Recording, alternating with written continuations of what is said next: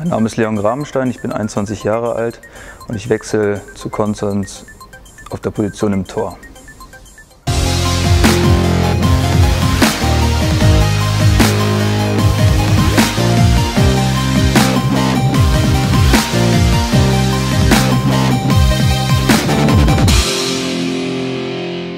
Ja, Leon ist eine andere Art von Torwart, äh, die wir bisher hatten.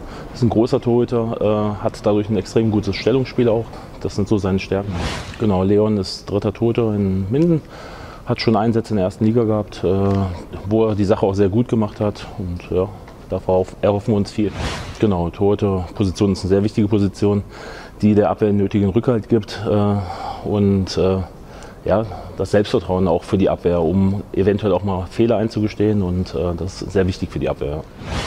Der Kader ist aktuell soweit komplett. Es kann noch sein, dass noch ein weiterer Spieler hinzukommt. Äh, wie gesagt, kurzfristige Änderungen kann es noch geben, aber äh, eigentlich ist das so, sind wir jetzt im Abschluss. Ja.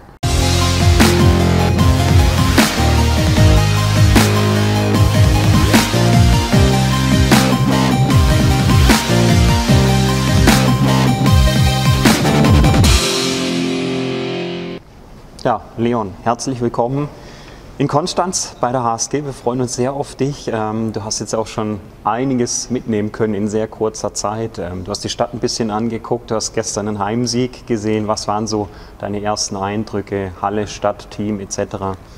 Ja, also mir wurde als erstes die Innenstadt und die Altstadt gezeigt und ich muss schon sagen, also mir wurde nicht zu viel versprochen. Ähm, Konstanz ist sehr schön. Ich war noch nie hier, aber der erste Eindruck ist auf jeden Fall Bombe.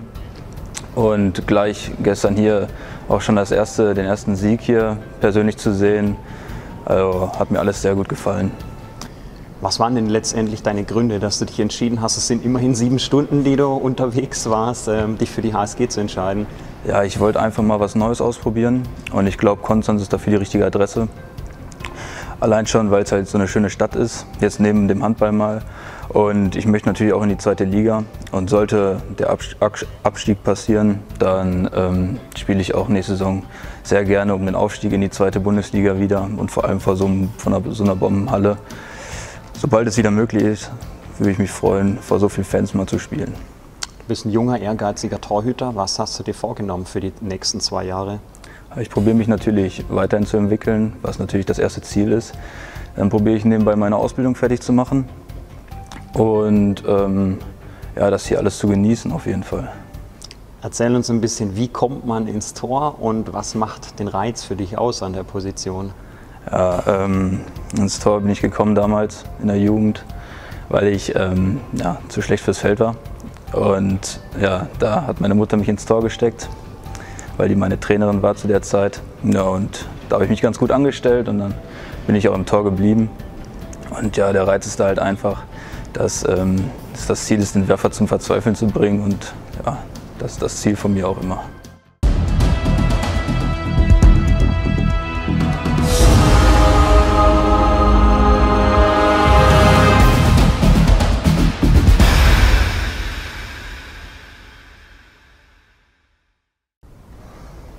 Ja, Leon, ähm, was bedeutet Handball für dich? Du investierst da viel.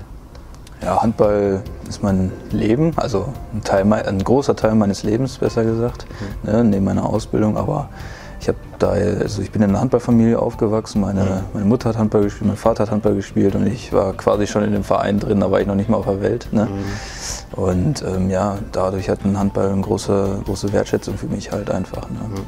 Da es halt so familiär ist. Du hast auch schon einiges erlebt, ein paar Sternstunden. Gib uns noch mal so einen kurzen Einblick so in deine junge Handballlaufbahn, was du schon alles erlebt hast. Ja, ähm, also es hat angefangen bei der HVE Felix Ergste, mein ähm, Heimatverein, wo ich sehr lange gespielt habe, bis zur ähm, B-Jugend Altjahrgang. Mhm. Und da haben wir halt auch in der A-Jugend-Bundesliga gespielt. Und damals haben wir gegen GWD gespielt, wo wir dann gewonnen hatten wo durch dieses Spiel ich dann auch letztendlich verpflichtet wurde zur GWD. Mhm. Ähm, und ja, das, war, das hat mir gezeigt, dass man, also dass man ein bisschen höher spielen könnte schon als so ganz normal in so einem halt Dorfverein, aber mhm. ne, hat halt auch Spaß gemacht da. Ne? So, und dann bin ich zu Minden gegangen, habe zwei Jahre in der A-Jugend gespielt, in der A-Jugend Bundesliga. Haben ja westdeutsche ähm, Meisterschaft, äh, also sind Westdeutscher geworden immer, zwei Jahre hintereinander. Einmal Viertelfinale in der deutschen Meisterschaft und einmal Halbfinale deutsche Meisterschaft. Und ähm, ja, dann habe ich einen Vertrag bekommen für die dritte Liga. Und ja, da habe ich in meinem ersten Herrenjahr, dadurch, dadurch, dass sich der erste Keeper ein bisschen ver verletzt hatte leicht, habe ich meine Einsatzzeiten halt gekriegt, habe die genutzt. Und ähm, ja, dann haben sich irgendwann ein Keeper in der ersten verletzt. Und dann bin ich in die erste auch irgendwie reingerutscht. Das habe ich gar nicht realisiert irgendwie. Ja, und dann habe ich ja auch ganz schnell ein Spiel gemacht, also mein erstes Bundesliga-Debüt halt gegeben. Mhm. Ja, und ja, es war unglaublich, also das konnte ich gar nicht realisieren. Dann direkt dazu die anschließende Frage, wie muss man sich das vorstellen? Als 19-Jähriger kommst du da rein, ich glaube, du wirst dann noch irgendwie von der Ausbildung quasi weggeholt, dass du überhaupt zu diesem Spiel kannst und dann kommst du da mit 10 Paraden und 45 Prozent Abwehrquote rein. Also da muss man, glaube ich, richtig kalt sein. Ja, ich wusste einen Tag vor dem Spiel gar nicht, dass ich überhaupt ähm, mitfahren werde. So, und dann ging das alles ganz schnell. Dann wurde bei meiner Firma angerufen, der Geschäftsführer, also der Sportleiter Frank von Bern hat da angerufen, hat mhm. das alles geklärt, dass ich da mitspielen kann. Und ähm, ja, dachte ich halt, ich sitze auf der Bank. Ne? Vielleicht komme ich mal für einen 7 Meter oder so. Mhm. Ne? Was ich in der ersten Halbzeit auch. Da kam ich rein für einen 7 Meter, den habe ich nicht gehalten. Ich dachte, ja, okay. War trotzdem toll, mal so vor so, einer, vor so einem riesen Publikum aufzulaufen. Ne? Ja, und dann hat Kim Sonne zwei Bälle ins Gesicht bekommen, glaube ich. Und ja, dann hat der Arzt in der Mannschaft in der Halbzeit gesagt, so Lea, mach dich fertig. Ne? Und dann hieß es, ja, dass ich jetzt die ganze Halbzeit spielen werde. Ne? Ja, aber in dem Moment realisierst du das halt nicht, dass du da auf dem Spielfeld stehst vor 4000 Menschen. Ne? Da bist du so im Fokus und probierst einfach dein Bestes zu geben. Ne? Mhm. Und ja, hat sich da ausgezahlt gemacht. Ne? Worauf dürfen sich denn die HSG-Fans freuen? Also was bist du so für ein Torhüter-Typ? Was zeichnet dein Spiel aus? Ja, ich bin ähm, sehr emotional, was das angeht. Also ich reg mich jetzt nicht wahnsinnig auf, wenn ich einen Ball reinkriege, sage ich es mal so, aber wenn ich einen Ball halte, umso mehr, ne, da freue ich mich und äh, ich probiere halt auch irgendwie die Fans halt auch so ein bisschen anzukurbeln, ne, wenn es mal gerade nicht so läuft, ne, ein mhm. bisschen mehr Stimmung wieder reinzubringen, äh, damit ja, das Team gepusht wird halt. So, ne.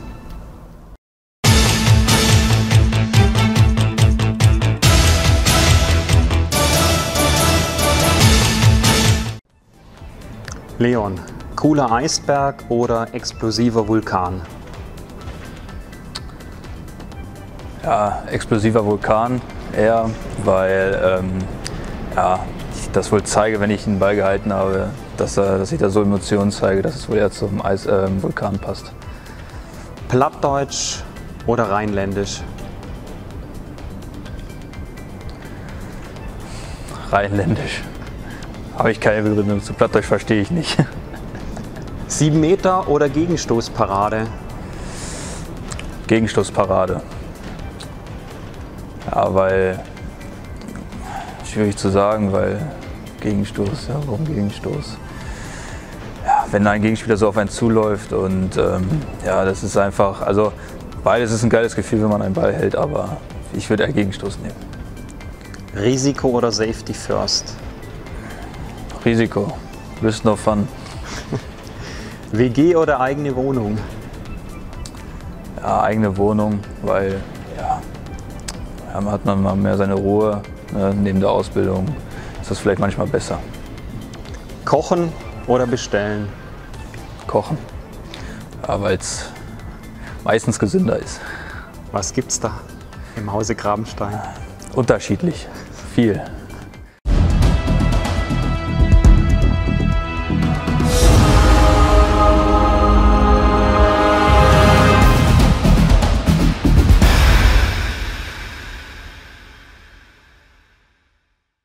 Leon, ähm, ab Sommer bist du dann hier in der Schenzelhalle. Worauf freust du dich denn besonders?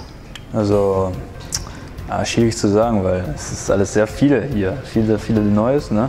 Also ich freue mich natürlich erstmal hier auf die tolle Umgebung hier mhm. und dann freue ich mich, wie oft schon gesagt jetzt, hoffentlich auf die tollen Zuschauer hier, mhm. auf die große Menge und die machen ja ordentlich Krach, wie ich gestern gehört habe.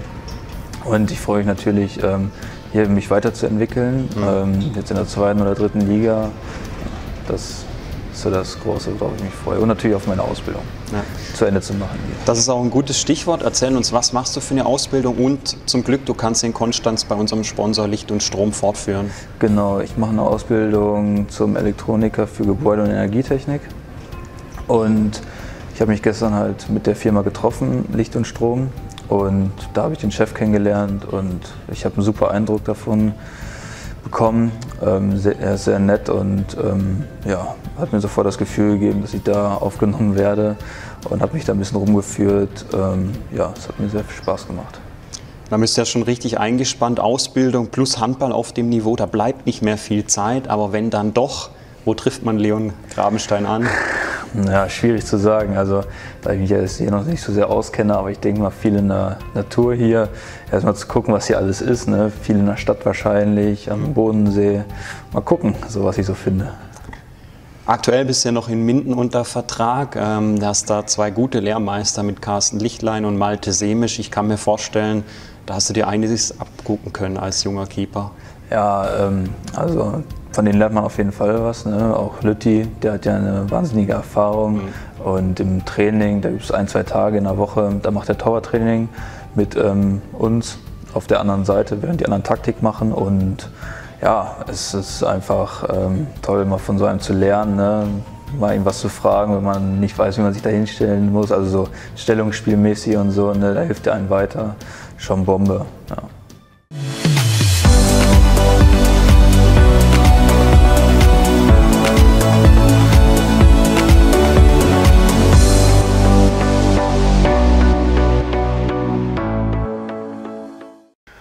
Wir von der Firma Licht plus Strom können im Leon hier eine Lehrstelle bieten. Wir, wir sind auf dem Weg, uns als äh, ja, exzellenter Ausbildungsbetrieb äh, zu formieren. Wir ähm, haben jedes Jahr ein, zwei Auszubildende die letzten Jahre gehabt.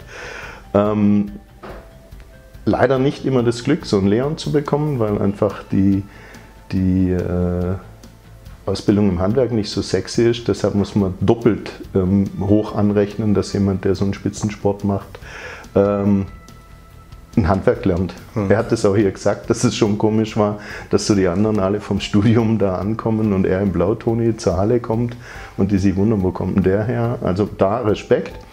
Äh, wir werden hier versuchen, für ihn die Zeiten, die er braucht, fürs Training freizustellen. Und ja, ich denke, das ist mal das, wie wir ihn vom Betrieb aus unterstützen können. Was ich zum Leon noch sagen wollte, was ich echt verrückt finde, ist, wie einer als 15-, 16-Jähriger von mhm. zu Hause auszieht, ähm, um für seinen Sport zu leben. Der geht von Dortmund nach Minden, gut, sind nur 80 Kilometer, ähm, ist schon auch trotzdem ein ordentliches Stück und geht dahin, um Schule und Ausbildung zu machen, um für seinen Sport zu leben. Echt Respekt. Das muss man mal ganz klar sagen. Das äh, ja, sieht man wahrscheinlich nicht so oft. Ich denke, daran kann man vielleicht auch ermessen, was, äh, was es ihm bedeutet und wie der auch mit einer Mannschaft kämpfen wird. Also das erste war mal, dass da eine ziemliche Schrankwand durch unsere Tür reingekommen ist, also ein echter Riese, ähm, der unser Tor sicherlich gut ausfüllen wird. Ähm, super netter Typ. Ähm, mir liegt äh, Westfalen einfach so von den Typen her. Die reden gerade raus, die sagen, was sie denken. Ähm, er kommt aus der Stadt, die für mich im Fußball sehr wichtig ist. ähm, und äh, ja, also witziger Typ, guter, guter Einstieg, ähm, mein Humor. und äh, ja, ich glaube, das ist eine echte Bereicherung für die Mannschaft, aber ich glaube einfach ein Teamplayer aus dem, was ich ähm, mhm. hier erlebt habe. Und ich glaube nicht nur für die Mannschaft, sondern auch für uns hier im Betrieb. Ist sicherlich einer, der gerade hinsteht, vorausgeht und äh, ich glaube keine Mühe scheut.